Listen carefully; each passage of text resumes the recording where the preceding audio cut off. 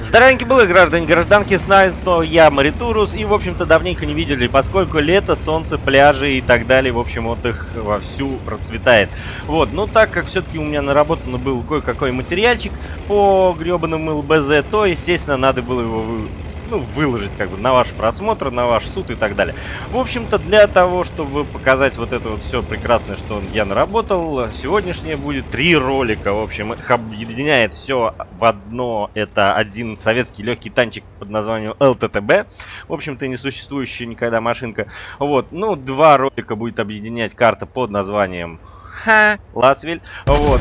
Ну, и третья немножко другая, в общем-то, увидим. И, в общем-то, первая ЛБЗ, это разведка, это нужно заметить и обнаружить, то есть 4 машины противника, при этом желательно выжить и еще, конечно же, необходимо победить. Вот, ну и сразу мы видим, да, что уже есть засветы, есть две машинки в засвете. В общем, откатываюсь я, кто-то меня обнаружил, сваливаю. В общем, что хочу сказать про ЛТТБ. Очень хороший танк, очень сильно похож на почивший Бози э, Т-50-2. Вот, та машина была просто бомба. И это, конечно, не бомба, но тоже очень и очень-очень хороша. В общем-то, в 44 году, когда планировался вообще постройка этой машины, решили, что, блин, ну, слишком она дорогая, слишком конкретно очень сложно ее построить. В общем-то, может быть, они и были правы, так как отказались отказались в пользу разработки Т-3485. А ведь мы помним, что Т-3485 это вообще супер-упер ну, бомба, короче, по тем временам. Ну, так вот, продолжаем. Итак, что у нас тут? Две машины в засвете. Наверное, немножечко... Что тут, в принципе... Да, естественно, конечно же, я выполню это ЛБЗ. Ну, это понятно, иначе бы я не стал вы выкладывать это видео. Вот, то есть четыре машины будет в засвете. Я выживу, и самое главное, что я еще победю. Вот. И вот тут вот сейчас пойдет, наверное, рейд по тылам противника, поскольку, ну, нужно, нужно бой идет, как бы пока 0-0. Видим, да, что захватывают нашу уже базу. Это хорошо, это супер-пупер круто. Но на той стороне у нас, видите, да, сосредоточено очень много тяжелых танков. То есть я имею в виду там, где захват у нас происходит. Выцеливаю, выцеливаю я кого-нибудь, может быть, увижу, может быть, нет. Кстати говоря, очень неплохой такой с, э, рейтинг боев. То есть я седьмой уровень, против меня девяточки. Вот, но все еще, как бы, никто еще не умер. Несмотря на то, что, конечно же, преимущество однозначно на нашей стороне. То есть мы видим, да, складку уже какую, 13 тысяч против 10 тысяч дамага у противника. И вот тут я предпринимаю рейд по тылам противника, поскольку необходимо, необходимо засветить еще кого-нибудь. Конечно, да, это очень и очень опасно, поскольку сейчас мне могут дать пиздюлей. И ой-ой-ой-ой-ой-ой, блин, блинский, надо валить. Ай-яй-яй, хорошо, что не попал, вернее попал, но отрикошетировало. Итак, ви... ух, еще один рикошет, это просто-просто великолепно. Видите, 970 уже от меня отскочило это. Это просто рикошетная машинка. Да, ЛТТБ это убер-супер бомба. Итак, после рейда по тылам противника видим, да, что сейчас, кстати, мне еще раз попку накернет. Очень и очень неприятно будет это все. Вот сейчас. Да, ну те... Ой-ой-ой-ой-ой-ой. Ну, короче, в общем-то, слава богу, что я свалил, и слава богу, что я выжил. Вот, видим, да, что лично обнаружил не менее четырех, а точнее пять машин. Может быть, не пять, тут счетчик вот этот вот ЛБЗ, он нам очень и очень неплохо пиздит. Вот. И поэтому, в принципе, дальнейшее продолжение развития и, и так будет понятно, что я выживу, что я победю, и смотреть тут особо не на что, потому что особо дамага больше не будет. То есть основную и дополнительные задачи выполнены. Переходим к следующему Так, ну и поехали дальше. И вот тут же сразу опять Ласвель, опять тот же самый респ, опять тот же самый ЛТТБ. И самое главное, что даже у нас все еще тот же самый режим, то бишь встречный бой. Правда, шансов на победу, конечно, тоже есть. Вот, ну и в общем-то, естественно, что сразу опять-таки я еду на засвет, то есть дабы посветить, дабы посмотреть, кто там, что там. А в общем-то, это четвертая ЛБЗ. Ой-ой-ой-ой-ой-ой-ой-ой-ой, ВЗ. Ой, да что ж такое, блин, ну сразу жопу-то зачем так? Так, ну и вот вижу, да, что ВЗ-131, а самое главное, что ЛБЗ тут э, необходимо как бы э, накернить противника, то бишь, чтобы сбить с него пуслю, чтобы его, короче, еще накернили на 250, и в конечном итоге, чтобы его застрелить и нахер. И вот видим, ВЗ на стоит на гусле, еще и с дамагом прошло. Ну, пошел, пошел, накернем. Да, да, отлично. 90 просто молодец. И 90 его добивает именно тогда, когда машинка была на гусле. То есть основные дополнительные требования в этом ЛБЗ уже выполнены. Вот, но на самом деле... Ох, 90 Ну вот посмотри, я-то отъехал, а ты зачем так вылазил? Тебе что, больше всех надо, что ли?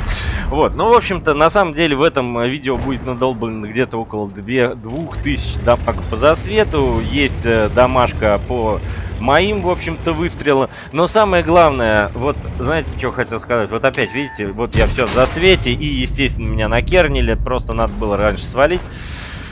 Ой-ой-ой-ой. Вот так вот погонишься как бы за дамагом и получишь пизделей. Вот, ну, в общем-то, не в этом дело. На самом деле, э, хотел бы вот до конца сейчас, я буду, думаю, что перемотаю на перемоточке, поскольку тут главное действие именно там развернется, поскольку ЛБЗ это очень а, отлично, ушел в ангар.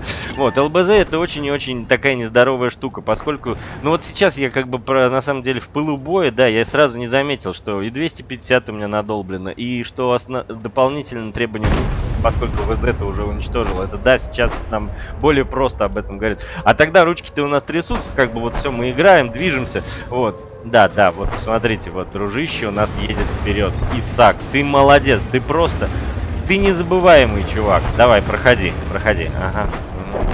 Вот сейчас, вот смотрите, вот так вот никогда не делайте, если вы вот такие вот красненькие, как этот вот Исак, вот, э, то делать так не надо. Куда ты поехал, дружище? Что ты там увидел? Неужели там кто-то светится? И ты решил, что там все... Ой, тортила, ну надо же! Ой, 383! Ой, не пробил! Ядрит Мадрид! Ну вот посмотрите, ну, ну, и... И что? И все? Блять, и вот сбоку еще, и еще, и... Ой, молодец, да. Так, ну, в общем-то, не будем смеяться над нашим другом. Сейчас мы перемотаем.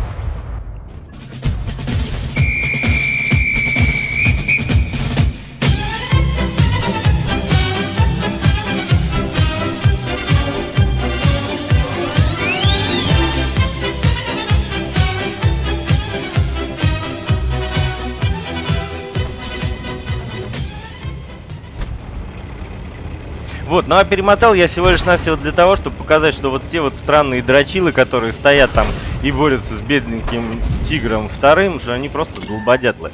Вот, ну и вот пока, до свидания, в общем-то, тигр. Адью. Ну, сейчас это будет, подождите, сейчас, ну, один разочек, да-да-да, сейчас, сейчас, сейчас, сейчас, сейчас, сейчас.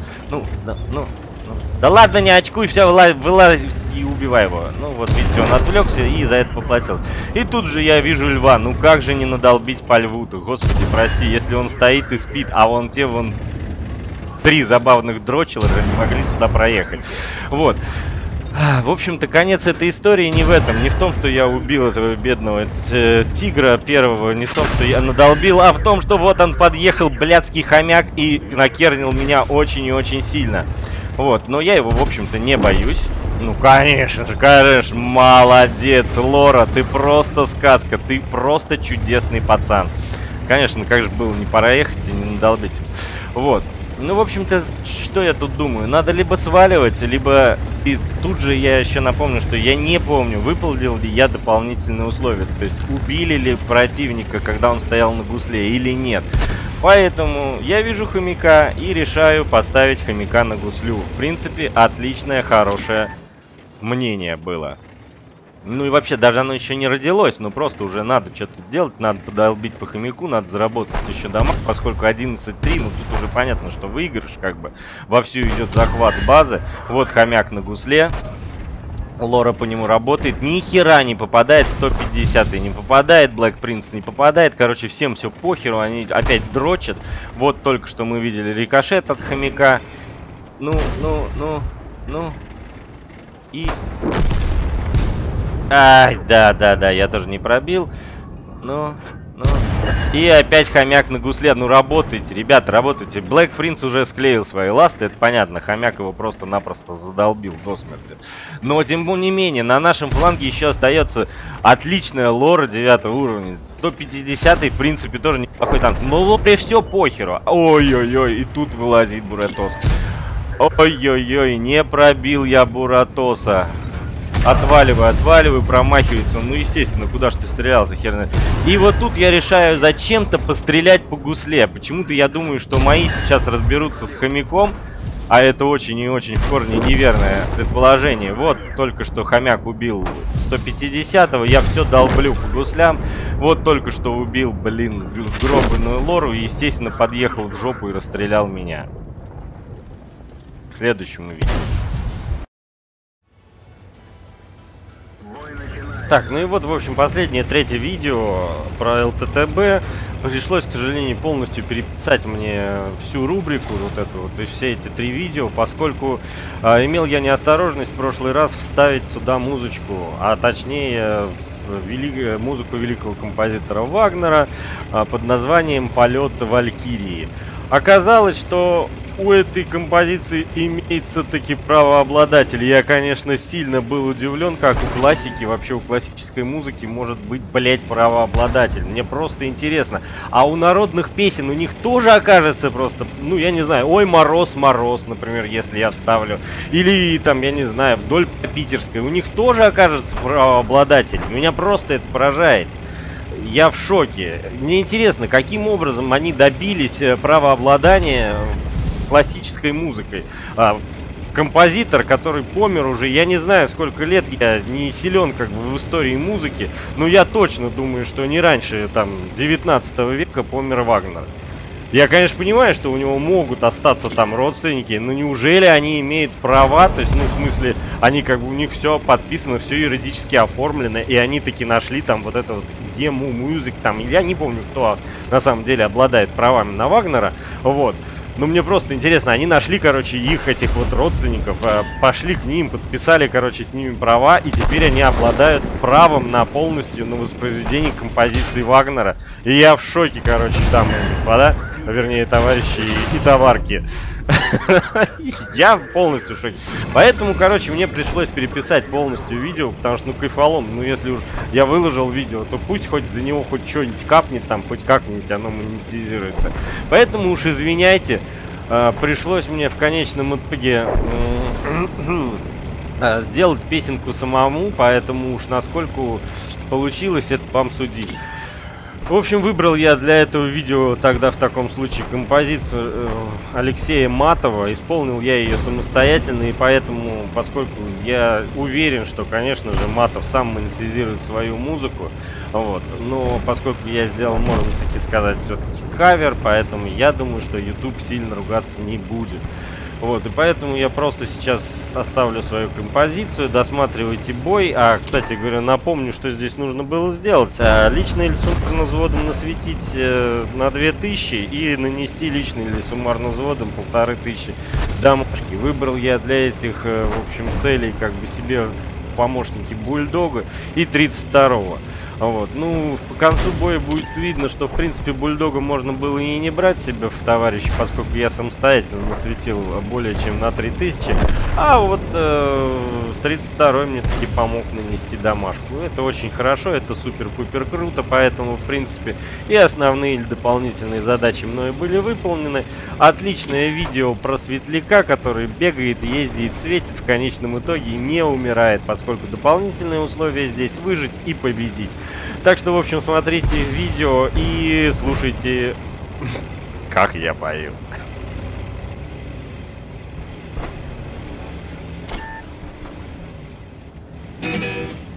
Впереди отрезок чистый, мы на нем почти статисты, а у дальней кромки поля враг хоронится в кусты, и оттуда самоходки бьют по нам прямой наводкой.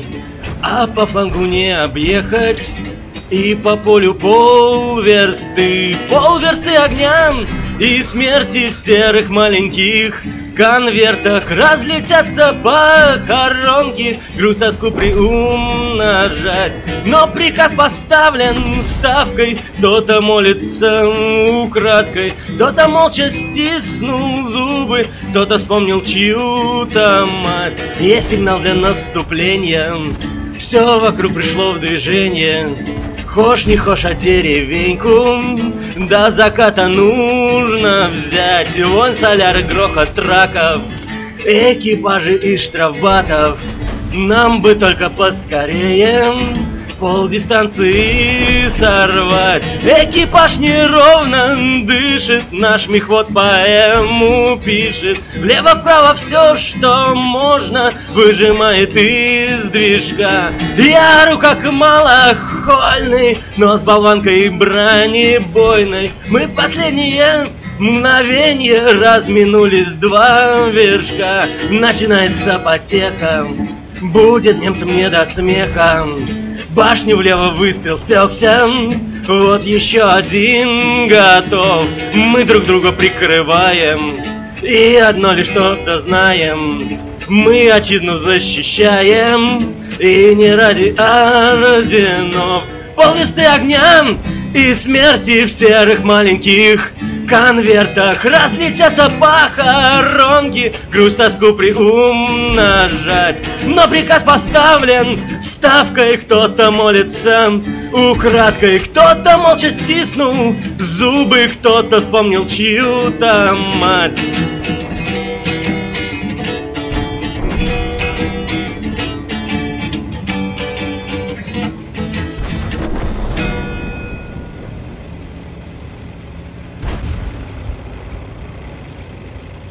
Так, ну и вот, короче, подходит к концу этот бой. Сейчас мы увидим, как погибнет бедный 50 соточка. Вот, я надеюсь, что вам понравилось это видео, понравилось, как я пою. Если кому понравилось, тот пускай подписывается на канал, ставьте лайки. Ну, а кому не понравилось, тоже подписывайтесь на канал. И, в общем-то, оставляйте свои комментарии. Поэтому всем пока, всем спасибо, всем до встречи, удачи вам в боях.